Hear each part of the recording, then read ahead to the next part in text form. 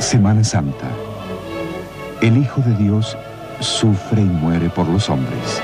Que su ejemplo de entrega y abnegación nos ilumine para trabajar unidos por un mundo mejor.